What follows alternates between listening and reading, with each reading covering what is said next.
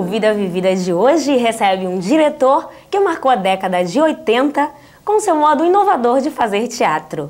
Em 53 anos de carreira, ele já dirigiu cerca de 200 peças em todo o Brasil. Eu converso agora com Amir Haddad. Amir, muito prazer em recebê-lo. Obrigada por aceitar o nosso convite.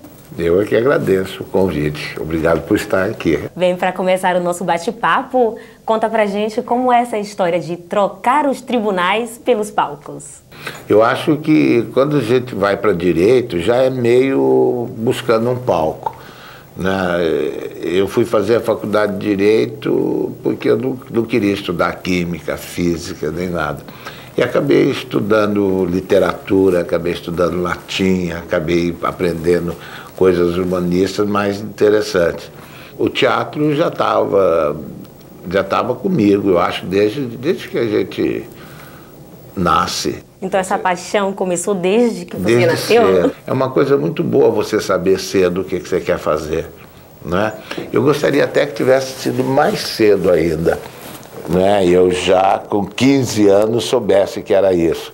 Mas só com 17 anos, no final do que era antigamente o curso colegial, já me preparando para entrar na universidade, é que essa vocação se manifestou muito forte, porque a cidade de São Paulo, na década de 50, tinha uma efervescência cultural muito grande. E o teatro brasileiro estava, vamos dizer, nascendo ali, naquele momento, com o enriquecimento da cidade, a criação de uma burguesia rica que gostava de, de, de cultura, essa coisa toda. Então a cidade falava muito de teatro. E uma coisa maravilhosa, vocês me desculpem, não tinha televisão. Né? então o teatro era uma mídia nova invadindo a cidade, discutindo os problemas da cidade muito fortemente as relações familiares, os acontecimentos, os escândalos paulistas, tudo isso o teatro refletia. E eu, um jovem já com essa vocação, adolescente, eu fui imediatamente atraído por essa atmosfera. Então eu cheguei do interior para ser advogado, mas depois de alguns anos em São Paulo eu já queria ser ator fazer teatro. Você ajudou na criação do, do Teatro Oficina, foi um dos fundadores. Fundador Como foi isso? Oficina. convite? Como foi isso? O Zé Celso, que hoje é o diretor da oficina, mas o Renato Borg, que foi ator há muito tempo, eram meus colegas de banco, mais o Moraci Duval também, que hoje é produtor, todos eles eram colegas de banco da Faculdade de Direito. Nós saímos do colégio, cada um com suas ideias, e fomos para a Faculdade de Direito. Todo mundo que não sabia o que queria fazer foi para a Faculdade de Direito, esperar. E aí, então, chegando lá, vamos fazer teatro. Resolvemos fazer teatro, nos organizamos, produzimos uma peça. E aquela peça deu certo, a gente pensou talvez em formar um grupo. E aí formar esse grupo. O grupo precisava ter um nome. E passou a ser oficina. Foi oficina. Oficina porque tinha um grupo francês que chamava Atelier, que era do Charles Dulin, um grupo que a gente admirava, e era o nome. Segundo, porque oficina tem a ver com o meu nome também. O nome Haddad significa ferreiro, é o que bate na bigorna. E o símbolo da oficina, por acaso, é uma bigorna mesmo, malhar o ferro. E que outra coisa que o Zé Celso faz até hoje, muito bem, é o nome ele é simbólico, representa muita coisa. Aí formamos um grupo de teatro que veio a se chamar Oficina e que mais tarde se consolidou como um dos grupos mais importantes da história do teatro brasileiro. O que te levou a deixar esse tipo de teatro e fazer o teatro de rua? Eu saí da sala porque o meu teatro crescia e não cabia mais dentro da sala. E eu não estava satisfeito com o teatro que eu fazia, eu sentia que eu podia fazer mais. Falei, aqui tem mais coisas. Eu fiz o que eu aprendi e falei, tenho que não me ensinaram. E isso eu vou ter que descobrir sozinho. Você criou um grupo Tá na Rua, um grupo de teatro, de teatro. e que hoje é reconhecido nacionalmente e internacional também. Também. Mas o que é esse grupo? Como surgiu? O grupo é do início da década de 80, por isso que a década de 80 acaba sendo importante, porque os três primeiros anos da década de 80 eu já estava com o meu grupo formado na rua e fui o primeiro a ocupar espaço público quando começaram a se insinuar as aberturas democráticas com a remoção do pensamento ditatorial, autoritário, militar que reinava sobre o país. Como é que foi a receptividade do, do público nessa época? Você sofreu algum preconceito com isso? Nenhum preconceito. O povo adorou que alguém estivesse na rua cantando, dançando, oferecendo a ele liberdade, reflexão, tratando a inteligência dele com respeito, respeitando suas opiniões e, ao mesmo tempo, discutindo com o cidadão os problemas da sua vida, da sua cidade, isso em praça pública, no meio da rua, que é uma função do teatro, uma função antiga do teatro, uma função ancestral. Então, a coisa mais importante que aconteceu na minha vida quando eu fui fazer teatro de rua foi encontrar essa plateia. E como é que o grupo sobrevive a mim financeiramente? Eu não tenho facilidade em arranjar patrocínio para o meu trabalho, né? nem os nossos atores. Então, é, eventualmente a gente tem um ou outro apoio, um edital, essa coisa. Mas patrocínio, como muitos grupos têm, que fazem um trabalho menos, menos, como vou dizer assim, menos venenoso que o meu, vamos dizer assim. Esses têm patrocínio. Eu não trabalho para nada deste mundo. Eu, tudo, que eu, tudo que eu faço é para possibilidade de um mundo melhor. Mas hoje é mais fácil, as pessoas é, recebem melhor? Agora é muito difícil, porque existe um pensamento ordeiro em cima da cidade que trata atores de rua, artistas de rua, como se fossem desordeiros. Como é que é o processo, Ami, de, da seleção dos atores para participar do, desse grupo, Tá na Rua? Não Como são os seleção, testes? Tem testes? Não, não faço seleção. A pior coisa do mundo é você fazer seleção. Entende? Você erra sempre. Quem me garante que eu estou acertando? Eu já vi pessoas serem condenadas no exame vestibular de teatro que poderiam estar fazendo teatro hoje foram massacrados naquele momento em que alguém se arrogou o direito de dizer o que, que ela é, o que, que ela pode ser e fazer. Há muito tempo que eu não faço mais isso, me recuso a ser júri de qualquer coisa, não julgo nada, não julgo ninguém, porque a minha vida me revelou que as pessoas podem me surpreender o tempo todo e me surpreende. De onde você menos pensa que tem, vem um monte de coisas. Então, não tem seleção no meu trabalho. Mas nós temos um processo de preparação de ator. Um ator, para fazer o teatro que eu faço, ele tem que ser preparado. Então, um ator, para trabalhar comigo, ele está bom mesmo, a ponto de eu não me preocupar mais com ele, tem que ter pelo menos cinco anos de treinamento comigo. Ok, Ami, segura aí um pouquinho. A gente vai para um rápido intervalo. O Vida Vivida volta já, não saia daí.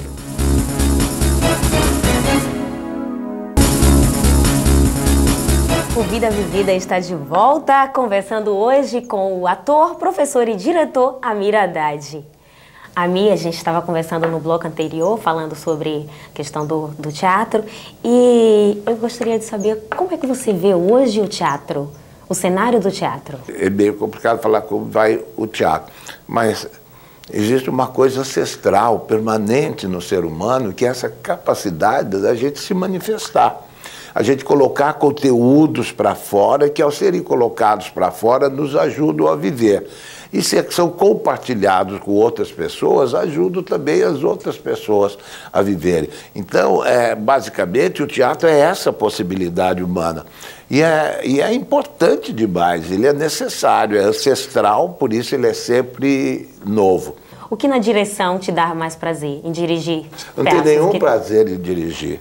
Não? Eu dirijo por necessidade. E eu contesto essa figura do diretor. Cada vez mais eu sou um, um, facilitador das possibilidades expressivas das outras pessoas. Não tem essa ambição de poder, de autoridade sobre o outro. Todo, todo, todo foi em cima das questões que a ditadura militar colocava na cabeça do brasileiro. Então, eu não posso ter essa coisa desse ego de ser diretor superior a todos, porque eu falo para fulana de tal o que, que ela tem que fazer, eu falo para o ator famoso o que, que tem que fazer, ou eu sou diretor, eu falo, não erra em tudo, porque você, você está manchando o meu nome, os diretores atores você não forma, na verdade, atores, forma cidadãos. Cidadania de primeira classe. E a ideia de que isso é possível para qualquer pessoa, entende? Tanto para quem faz como para quem vê, é possível um, um crescimento de sensibilidade, de inteligência, percebendo sempre do ser humano é, essa, essa possibilidade. O teatro, com certeza, é uma arma muito forte de educação. É uma ferramenta poderosa, entende? É uma pedagogia. Meu teatro é uma pedagogia, mas você não pode dizer que isso é verdadeiro para todos os teatros. Há teatros aí que são verdadeiras armas de deseducação, que é perigoso, vem sob o rótulo bonitinho, enfeitado, parece que é um bombom maravilhoso, e às vezes tem veneno dentro. Qual a sua relação com os críticos? Meu teatro não vive da crítica, vive do meu exercício de cidadania, da minha ética, da minha coerência, daquilo que eu quero fazer e faço a qualquer custo. Nenhum crítico, a não ser que me dê um toque muito legal, e alguns deram, vai modificar meu trabalho. Em compensação, os atores, né? Os atores adoram porque eu respeito a individualidade deles. Eu respeito a subjetividade do ator. Eu dou espaço para que ele se manifeste e tenha opinião. O meu ator não interpreta, ele manifesta. E nesse tempo todo de, de carreira, 53 anos, você deve ter feito muitos amigos, né? Tem alguém que, que te ajudou? Eu posso dizer que eu sempre tive gente que acreditou em meu trabalho. Não se faz o que eu fiz e faço se não tiver quem acredite em você. Então, eu precisava de gente trabalhando comigo. Então, eu tive, durante anos, atores diariamente ensaiando comigo, discutindo, fazendo pesquisa, experimentando coisas, sem receber um tostão, simplesmente porque, de alguma maneira, acreditavam no que eu estava propondo a eles e acreditavam em mim como uma pessoa capaz de levá-los a bom termo. Entende? Então, esse apoio eu tive sempre. Sempre, de trabalhar com os atores, que são profissionais, que precisam do dinheiro para viver e que muitas vezes desistiu dessa sobrevivência material em busca de uma recuperação, de um sentido para a sua própria vida, para aquilo que faziam, para o seu ofício. Então, falando em amizade, tem um recadinho para você, vamos ver? Eu me apaixonei pelo teatro por tua causa. Eu continuei fazendo teatro por tua causa. É, eu aprendi tudo no começo, tudo com você. E começou aí uma, uma história de amor. Começou aí uma história de, de amizade, de amor, de respeito, de admiração. Eu espero que seja um pelo outro, porque eu tenho por ele. E o Amir sempre, sempre até hoje, tudo que eu qualquer qualquer dificuldade que eu tenha, qualquer dúvida, qualquer dúvida na minha profissão, como pessoa, como atriz, eu sempre peço ajuda ao Amir. Amir, um beijo. Você sabe que você vai estar sempre no meu coração, na minha alma. Na, você sempre vai fazer parte da minha vida. Você sempre vai ser a pessoa, o meu amigo mais antigo do meu lado que me orienta, sempre. Sempre. Um beijo. Ela tinha 16, 17 anos quando ela começou a fazer teatro comigo e eu vi logo que ela é uma pessoa carismática, desarmada e cuja presença era atração em qualquer lugar. Se tivesse 10 pessoas no palco, era para ela que você olhava. Ela podia não estar tá fazendo nada que ela atraía essa atenção. Ela é carismática, é linda, minha amiga e tudo. E eu sempre ouço muito todo mundo falar: Renato falou bem de você. Daí veio uma entrevista no jornal: ah, Renato falando bem de você. É a primeira vez que eu vi ela falando bem de mim e eu assisti ela falando bem de mim. Foi muito, muito bom. E eu vou te dizer uma coisa: nós somos tão ligados que se ela fosse fazer um programa sobre o Oderbal, Júlio, e ela tivesse que falar sobre o Oderbal, ela ia ligar para mim e falar: ai, Amira, eu tenho que falar sobre o Oderbal. O que, que eu vou falar? E aí a gente ia conversar e ela ia falar. Quando era sobre mim, ela não ligou, ela falou sozinha, falou muito bem. Mas não é só ela, não. Tem mais um recado para você. Vamos ver? agora? Eu conheci o Amir na bilheteria do teatro e da bilheteria do teatro o Amir abriu o mundo e os palcos do teatro para mim. E eu costumo brincar com ele que a gente vive a roda da vida, né? Que é essa coisa do teatro, do encontro, do crescimento e do conhecimento, né? Eu agradeço o Amir. Ele me tornou um ser humano mais mais disponível para o mundo e para a vida. Não tenho mais para te dizer não, Amília. É só obrigado, obrigado, obrigado, obrigado e tomara que você dure mais 100 anos. A Mônica é atriz do Tá da Rua, né? E trabalha comigo muito, organiza a minha vida também, eu dependo muito dela.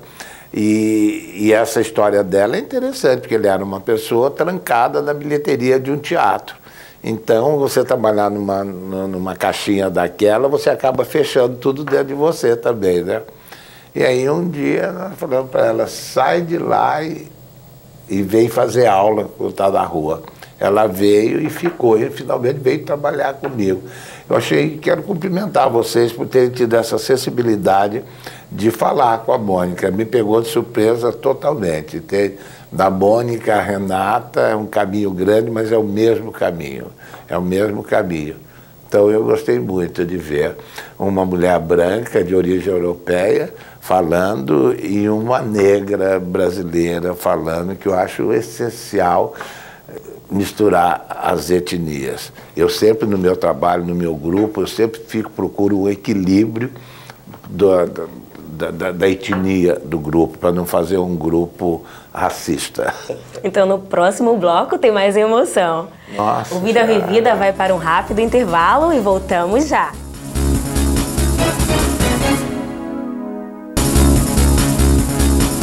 O Vida Vivida está de volta com seu terceiro e último bloco, batendo um papo com o diretor, professor e ator Amir Haddad. Amir, no bloco anterior, você viu o depoimento ali dos seus amigos, se emocionou, mas a gente tem mais emoção para você. Vamos ver? Sou ator do grupo Tá Na Rua, estou no grupo há 10 anos. Aí foi interessante que eu, eu, eu tinha feito, com ele eu não tinha feito aula. Mas aí ele teve um projeto de, de, de uma montagem de espetáculo chamado Castiçal, Jordano Bruno, que aí ele ele chamou os atores do grupo Tá na Rua, quem estava por ali fazendo aula na época, né? E ele nunca tinha visto eu fazendo aula, só alguns encontros assim. E o curioso foi que ele me convidou para fazer um personagem desse espetáculo, sem me conhecer muito. Ele deu a chance sem conhecer, né? Ele apostou no, no escuro, assim. A gente sempre faz uma imagem do Amir diretor, né? É, engrandece ele, parece que ele é inalcançável, vamos dizer. Mas conforme o tempo vai passando, a gente descobre que, na verdade, ele é um grande amigo também, né? É psicólogo às vezes. Amir, eu te amo, meu camarada. Obrigado por tudo. Continue sendo essa pessoa transgressora que nos ensina muito com essa vitalidade que você tem. Meu assistente direto, é, como ele fala, ele está há 10 anos lá, mas muitos atores ficaram muito tempo lá e só depois de alguns anos que foram ter contato comigo. Porque é um longo processo de aprendizado. E se eu pego um jovem desse do começo, a cabeça dele não aguenta. Então tem um período de ceva, vamos dizer assim, que eles ficam. O Alessandro só foi ter contato comigo três anos depois de estar lá. E eu dei realmente esse papel para ele, ele fez mal e porcamente. Era um horror em cena. Mas até o final do, do, da temporada ele acabou melhorando. Ele tinha só uma fala desse tamanho. Eu fui cortando, cortando, cortando, a fala dele ficou desse tamanho, que era o que ele podia falar. Ele é hoje uma pessoa de extrema confiança minha. Você nasceu em Guaxupé, Minas Gerais, Eu nasci isso? em Guaxupé, Minas Gerais. Cresci em Rancharia, São Paulo. Cresci ali até a adolescência. Com 15 anos de idade, eu fui para a cidade de São Paulo para completar meus estudos. E sua família, Mi? Você tem contato? Tem irmãos? Tenho muitos. Nós éramos oito. Atualmente somos três só, porque os outros já morreram. Mas eu sou de família grande, família árabe, pai e mãe árabe, e as famílias árabes eram muito grandes, muito movimentadas né, faz parte da cultura árabe essa vida. Então eu tenho família grande, muito ligado na família. Tem algum é. artista na família, além do Amir Haddad? Tem muitos artistas. Eu tenho sobrinhos, sobrinhas que é ligado a isso. Tenho um sobrinho que é diretor de televisão, editor de telejornalismo, trabalhou 20 anos na Globo em Nova York, agora ele trabalha aqui na Record tem uma sobrinha que é a estrela de uma minissérie. É ver é a da Warner que, que põe a minissérie no ar, ela faz uma extraterrestre. E eu fico rindo, achando legal ver ela fazendo aquilo em bom inglês, porque é outra língua dela, e pensando, ela estreou comigo em teatro, ela era bebezinha, ela fazia o papel do menino Jesus no alto de Natal que eu montei na TV educativa. E o Sandro? Você tem um filho, Não, o Sandro. É, o Sandro é um capítulo da minha vida. É, conta um pouco da história total, dele. Né? O Sandro é, é, é meu amor.